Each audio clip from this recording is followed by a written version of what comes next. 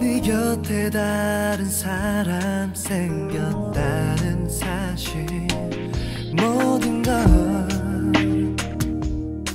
받아들이기에 내가 죽고 싶은 만큼 아픈